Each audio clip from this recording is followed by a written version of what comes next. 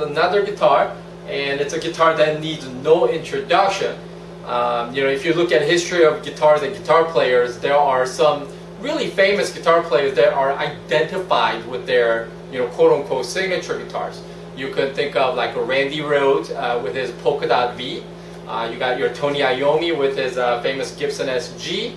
You got Jimmy Page with his uh, 59 Les Paul. Hendrix with his Upside Down Strat. As uh, you know, um, Stevie Ray Vaughan with his Strat. BB King with a Lucille. Buddy Guy with his polka dot guitar. So there are all those guitars. You immediately look at the guitar and you kind of go, oh yeah, that's a guitar belonging to you know so and so. So this guitar right here, I believe, is you know just about the same recognition value.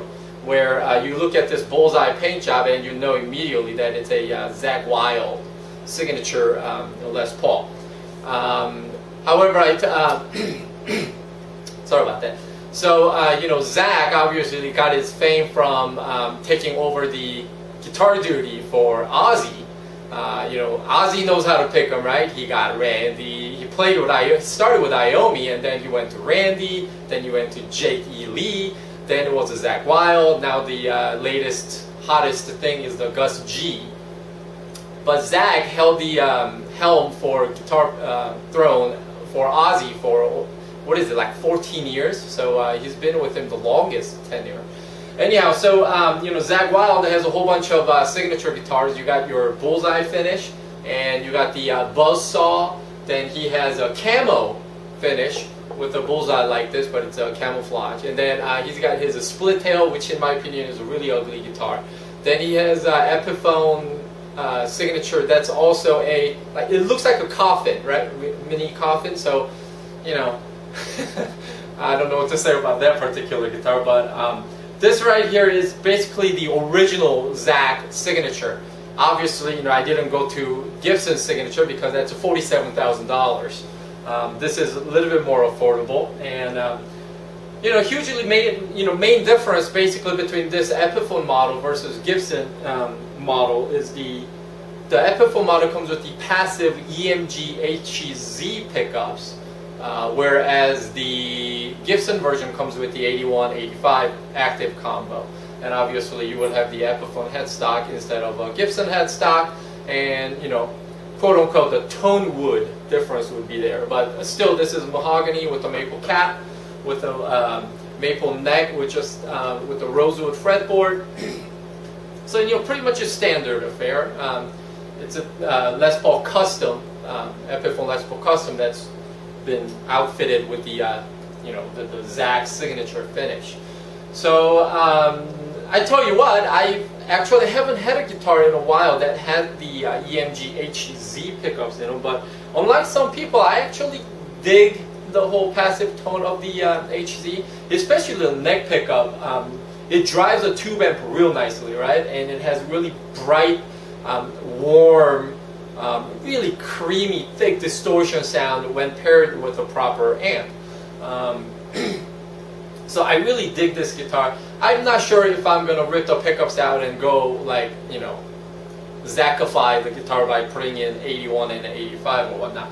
I um, and those of you who watch my videos, you know I have another Epiphone black um, Les Paul custom that's been outfitted with blackouts. So I'm not sure if I'm gonna change this to uh, another active pickups. And I got other guitars with the 8185 uh, combination. So I strung this guitar, um, the wrap over on um, the um, tailpiece here, a la Zakk does it. So I, I, think it actually helps with the tone a little bit. And um, I like the way this guitar feels. It has the uh, a little bit of um, it's not painted neck, but it's a um, you know it's basically unfinished, right? So I love the way the neck feels. I originally thought years ago when I first grabbed this guitar, I thought the neck was a little too thick, but you know I've had my time with the uh, Slash signature Les Paul, which has a thick neck, and other um, guitars with a thicker neck. So now I'm kind of used to it, so it doesn't feel um, all that weird. Uh, this particular guitar, I didn't get it new. Um, I got a really good deal off of um, uh, this one. I got from eBay. Um, it's a 2005 model. You got to watch out for um, you know fake uh, fake Epiphone guitars from China especially the like the Zakk Wylde models or what have you. This particular model is uh, made in Korea. This is before the production went from Korea to uh, China.